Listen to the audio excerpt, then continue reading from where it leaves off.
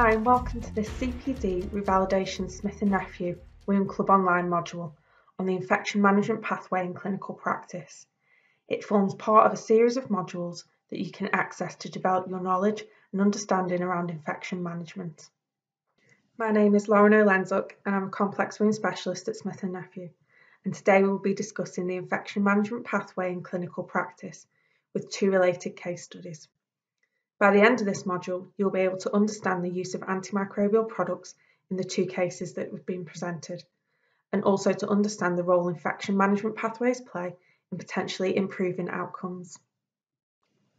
The development of clinical pathways addresses issues that are central to quality and modernisation agendas across health communities.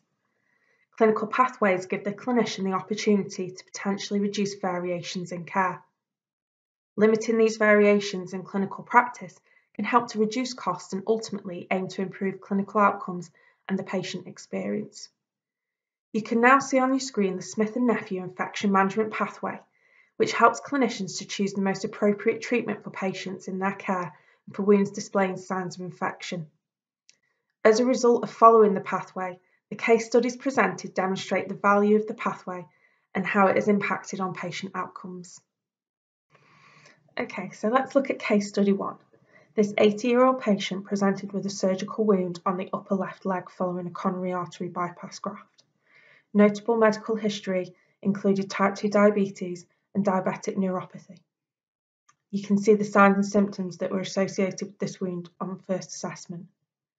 Exudate levels at this initial assessment were high, and the patient was also experiencing distressing levels of pain. From the image on the screen, you can see that the tissue was unhealthy, discoloured and friable. The clinician's treatment goals were to reduce the signs of local wound infection. For the infection management pathway, a silver barrier dressing was prescribed, initially for a period of two weeks, after which the clinician would reassess. The wound management plan consisted of debriding with a monofilament pad, cleansing with warm water, and application of a silver barrier dressing every 72 hours. At the end of the first week, the decision was taken by the clinician to discontinue the silver barrier dressing as the clinical signs of infection were resolved. The patient was reported to be very happy with the reduction in pain levels and the amount of dressing changes they were having. The clinician completed a follow-up assessment after 20 days, at which stage the wound had reduced in size by 50 millimetres in length and 10 millimetres in width, with no wound bed depth. The wound bed itself was healthy and almost healed, with 70% granulating tissue and 30% epithelialization was present with low levels of exudate.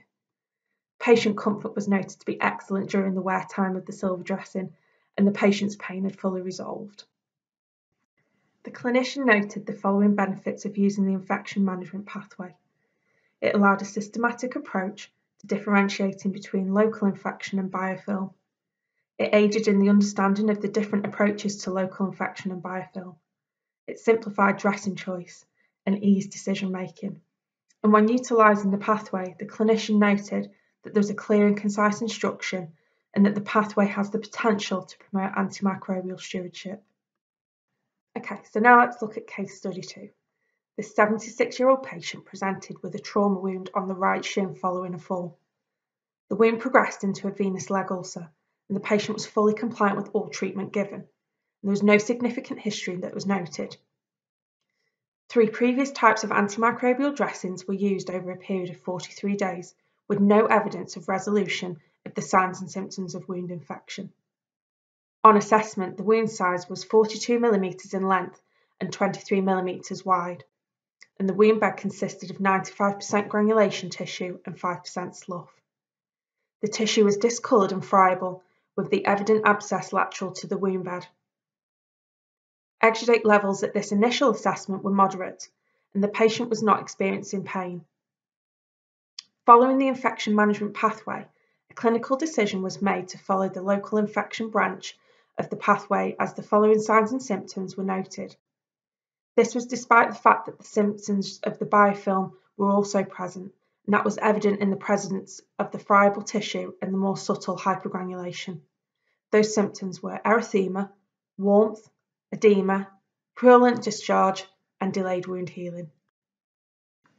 The clinician's treatment goals were to reduce the signs of local wound infection and to reduce the area of overgranulation. Following infection management pathway, a silver barrier dressing was prescribed for a period of two weeks, after which the clinician would reassess.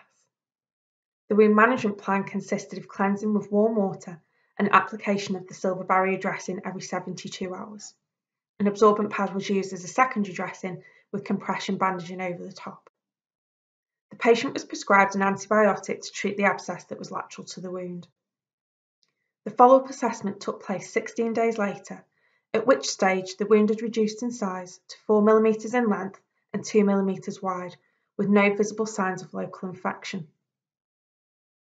The wound bed was healthy and almost healed with 100% epithelialization and low levels of exudate. Patient comfort was noted to be excellent, and with the patient stating that they were very pleased with the progress. The clinician noted the following benefits of using the infection management pathway. It allowed a systematic approach to differentiating between local infection and biofilm. It aided in the understanding of the different approaches to local infection and biofilm simplified dressing choice, and eased decision making.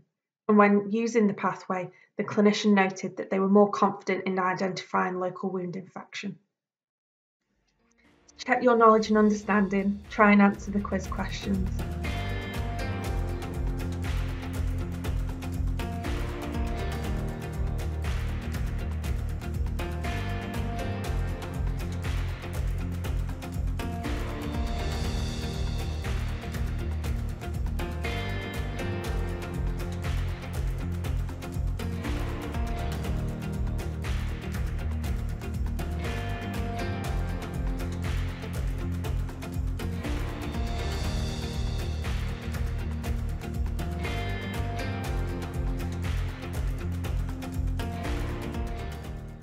Amazing, well done. We're now at the end of the module.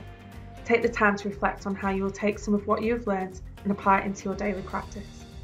If you're on the NMC register, then please click on the link in the description below to access a copy of the revalidation form. The form is in two parts with a front sheet where you simply fill in your details and a back sheet which allows for a deeper reflection.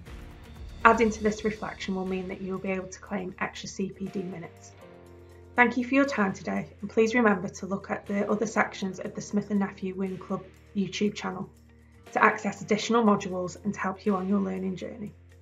Bye now.